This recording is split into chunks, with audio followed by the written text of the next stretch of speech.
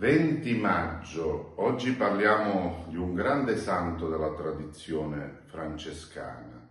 In realtà, ecco, dopo il 17, che è la festa di San Pasquale Bailon, c'è il 18 la festa di San Felice da Cantalice, il 19 la festa di San Crispino da Viterbo.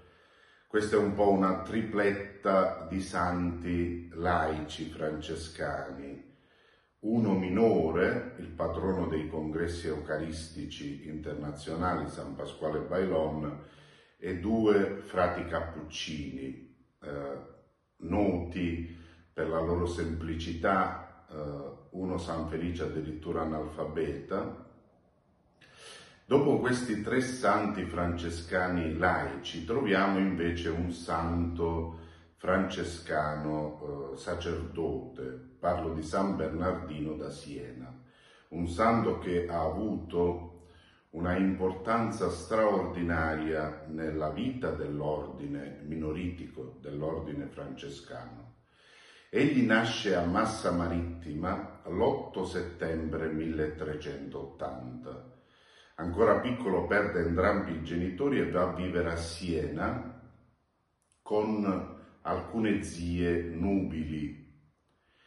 E, eh, è importante anche eh, la città dove eh, vive e eh, che eh, solitamente viene indicata come la sua città di provenienza.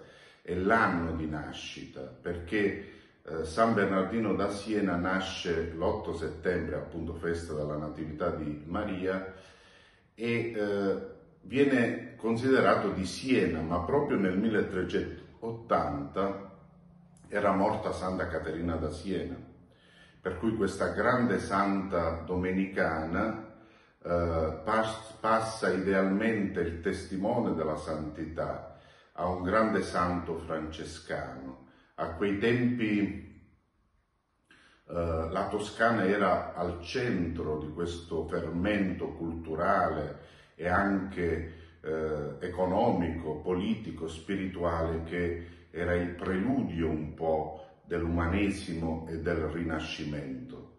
E Siena con Santa Caterina e San Bernardino diventa un po' l'ombelico spirituale dell'Italia di quel tempo. E il piccolo eh, Bernardino eh, viene istruito bene perché la famiglia aveva una posizione economica ragguardevole e eh, viene educato bene, istruito, eh, abituato alla devozione alla Madonna. A un certo punto eh, lui eh, lo si vede distratto, le zie tutte intente all'educazione di lui dicono ma chissà perché è così distratto questo giovane, oramai era cresciuto. Ma lui eh, si accorge eh, che eh, lo seguono, lo pedinano le zie e quindi un giorno dice, ma mentre mangia mi sono trovato la fidanzata e ogni giorno la vado a visitare. Eh, le zie lo spiano e si accorgono che si reca alla cattedrale di Siena a venerare un'immagine della Madonna.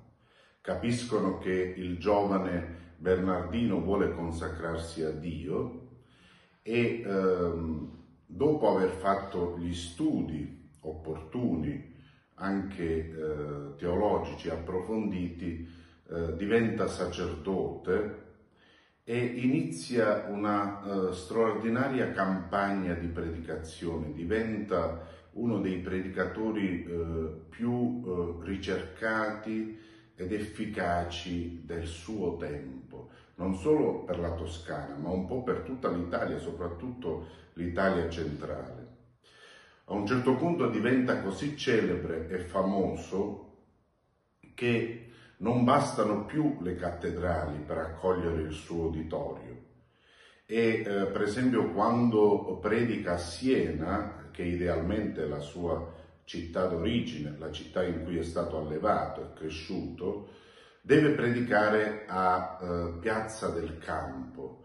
E c'è addirittura il primo esempio di uno stenografo che prendeva appunti sulle sue omelie, sulle sue predicazioni, sui suoi insegnamenti. E quindi ci sono giunte queste omelie ed è un capolavoro di letteratura ed è una finestra importante sulla vita del tempo perché ci sono anche esclamazioni, eh, degli incisi all'interno dei suoi discorsi che ci mostrano, ci mostrano la vita di allora perché la gente si portava anche, le donne per esempio, la lana da filare eh, o altri lavori manuali mentre ascoltava eh, le sue prediche. Poi l'uditorio era diviso tramite una tenda tra maschi e femmine per evitare che gli occhi dei maschi si balestrassero, dice eh, la cronaca, a guardare le femmine.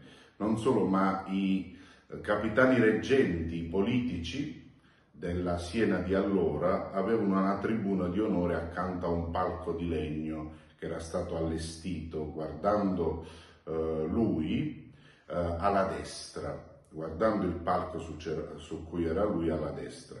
Come era strutturata la sua predicazione? Egli eh, incentrava la sua predicazione eh, sul nome di Gesù, sulla persona di Gesù e cominciò a diffondere quella tavoletta eh, di ehm, eh, con il monogramma sacro IHS, che può essere inteso sia come eh, le prime tre lettere delle parole Jesus hominum salvator, sia come le tre lettere della parola eh, greca Isus, quindi il nome di Gesù, una tavoletta scritta in oro su sfondo azzurro che poi faceva anche venerare alla gente. E succedevano tanti miracoli tra eh, le eh, situazioni che si risolvevano e le cose che si producevano durante le sue predicazioni c'è la conversione di tanti usurai e la riappacificazione di tante famiglie che erano in guerra, per cui anche su un piano economico la dottrina economica, teologico-economica di San Bernardino è studiata anche dagli economisti moderni, perché la sua predicazione è alla base anche del, della nascita dei cosiddetti monti di pietà, che sono una sorta di, di banche eh, che hanno un tasso agevolato per i poveri. Ma la sua opera di riforma eh, si estende anche all'ordine francescano. Egli è stato molto importante per l'ordine francescano perché ha richiamato i minori, cioè quella corrente spirituale dell'ordine francescano, a un'ulteriore riforma che si chiamò osservanza. Eh, nel 1444, quando era già vecchio, venne chiamato all'Aquila a predicare e lì morì. E da, siccome la città eh, dell'Aquila era divisa in due fazioni, eh, cominciò a uscire sangue dalla bocca del, di San Bernardino fino a che le due fazioni non fecero pace tra di loro. Era una lavina di sangue, un rigolo di sangue che non si estingueva. Quando eh, la città si consegnò alla pace di Cristo, il sangue smise di scorrere e quindi questo fu il segno che il santo era contento e aveva portato a termine la sua missione anche, anche eh, con eh, la sua morte, anche nella sua morte. San Bernardino da Siena prega per noi.